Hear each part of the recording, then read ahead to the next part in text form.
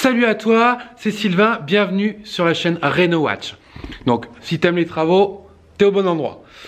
Euh, si tu me suis depuis un moment, tu sais que ça fait un petit moment que j'ai pas mis de vidéo.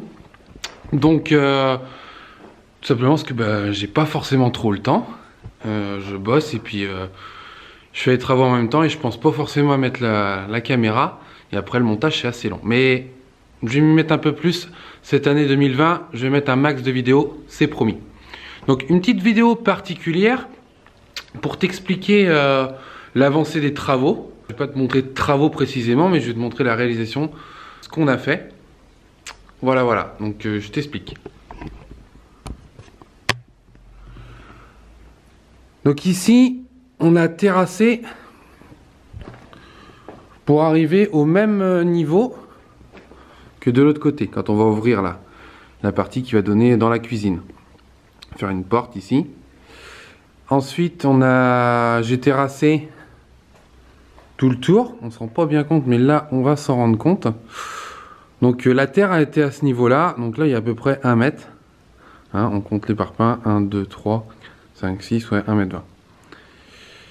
Euh, 1 mètre partout. Là, j'ai sorti environ 60 euh, mètres cubes euh, à la mini-pelle, sorti par ici. Donc, deux beaux tas qu'on a fait. Ensuite ici, euh, vous demandez sûrement pourquoi j'ai mis des parpaings. Donc en fait c'est parce que de l'autre côté, je vais pareil, le sol il est à peu près à cette hauteur là de l'autre côté. Voilà, 80 sous la poutre là. Et, euh, du coup faut renforcer parce que c'est que de la terre quoi sous le, sous le mur. Donc je creuse en dessous, à peu près de ce côté là à 40 cm parce que le, le mur fait 60. 65. Donc je sais pas si vous vous rendez bien compte. Donc je creuse à 40 cm en dessous. Je monte mes parpaings qui font euh, office de banchage.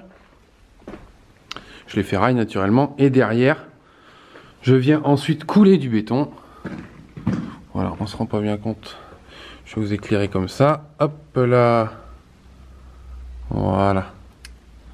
Donc ici, voilà. On se rend un peu plus compte. Donc ferrailler naturellement. Et euh, je vais faire la même chose de l'autre côté, à l'extérieur. Donc ici, là, je vais m'arrêter au trait ici, parce que là, je vais faire une porte. Ici, je vais continuer jusqu'au poteau. Voilà. Et les linteaux qu'on a réalisés récemment. Donc maintenant, il ne faut plus qu'ils sèchent. Il y a 3 à 4 semaines de séchage et je pourrais enfin enlever ces étais, enfin enlever les gros madriers qui supportent la charpente. Donc euh, dites-moi si ça vous intéresse, je vais faire peut-être une vidéo comment j'ai étayé et pourquoi je l'ai fait. Ça peut être sympa aussi. Donc si ça vous intéresse, mettez ça en commentaire. Et voilà, les linteaux, je vous ai déjà mis euh, comment faire un linteau. Si ça vous intéresse de, que je vous réexplique, vous me mettez pareil en commentaire et je referai une vidéo. Donc il y avait des poutres ici avant, dans le trou ici là, où le, euh, la, enfin, toute la ferme, la jambe de force de la ferme, était posée. Donc je l'ai coupé et on a descendu parce que le linteau, euh, je veux gagner en, hauteur. Euh, en haut, je veux me tenir assez debout partout, je veux dire sur toute la surface. Donc j'ai baissé un peu le niveau. Et du coup, on a fait les linteaux. Voilà, voilà pour ici. Ici, il va y avoir une baie. De l'autre côté, pareil. Donc on se rend pas forcément bien compte, mais de chaque côté, il y a 2,50 m. La baie standard, c'est 2,40 Donc euh, ça passe easy right. Et voilà, ici, il y aura une porte. Et voilà, voilà.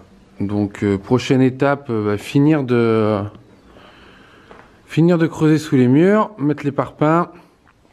Ensuite, euh, j'attends. Donc, on vient de les couler là. J'attends encore euh, deux semaines. Je renforce en dessous. Là, je vais vous montrer par le dessus. Ça sera plus simple. Hop là. On va se mettre ici à celui-là. Voilà. Donc ici, je vais renforcer avec un madrier ou une, euh, IP en ferraille. Euh, ce morceau-là, je vais peut-être le couper un peu plus haut même. pour venir vraiment soutenir au droit et porter sur le, sur le linteau. Voilà. Et ensuite, mon... Hop là, on se rend pas bien compte, mais là, voilà, le niveau fini sera là. Donc j'ai à peu près 20, 20 cm avec les, les poutrelles, les ourdis et la dalle béton. Voilà, voilà. Donc ça donne de la surface, c'est plutôt pas mal.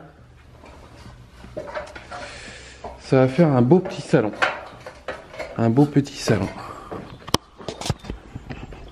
Donc si ce genre de vidéo te plaît, que j'explique ce que, je vais faire et comment je vais le faire, si tu as des questions, si tu as des projets et que tu, tu sais pas trop comment faire, tu me poses la question en commentaire et je réponds dans les 24 heures.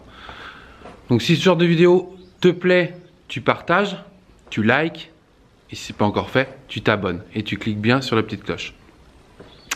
Donc merci à toi de me suivre et euh, j'espère te revoir très très vite. A bientôt, ciao